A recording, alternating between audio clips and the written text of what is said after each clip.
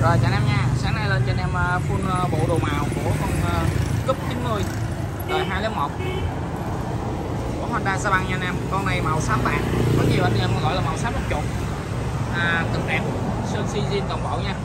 Full đầy đủ như hình Mình bán full bộ đồ màu này giá là 7 triệu rưỡi nha. Anh em cặn alo mình. À, Mình tặng cho anh em luôn bi đông sọ khỉ Chén tổ Mua đồ sao luôn. Nói chung là trong cái hình ảnh này anh em thấy cái gì là mình bán hết cho anh em cái đó nha. Ở phương đóng ờ, đồ ờ, màu này. Đúng 90 nha anh em. 90 nè. Đó, đưa anh em luôn hai cái uh, chân luôn. Jean rất là đẹp nha. Em xe ben giờ anh em vô được tất cả các dòng xe đèn vuông.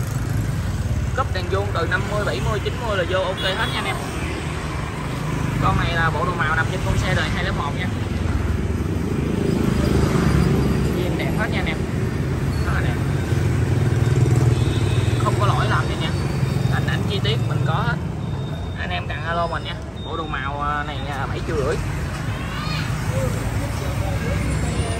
Full bận đầy đủ. Nói chung là anh em à, trong hình thấy cái gì á, là mình giao cho anh em hết toàn bộ cái đó nha anh em.